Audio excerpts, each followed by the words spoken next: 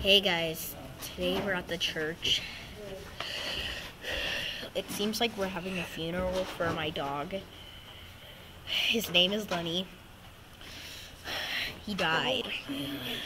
We're not having a funeral for him, but we're filming this at the church. But Yeah, so. anyways, rest in peace, Lenny. We will miss you all. Please let me know in the comments if you um if you liked him. And also like this video if you liked him too. He, he died stay yesterday. tuned for for more upcoming content. Yeah, and he died yesterday, just so you know.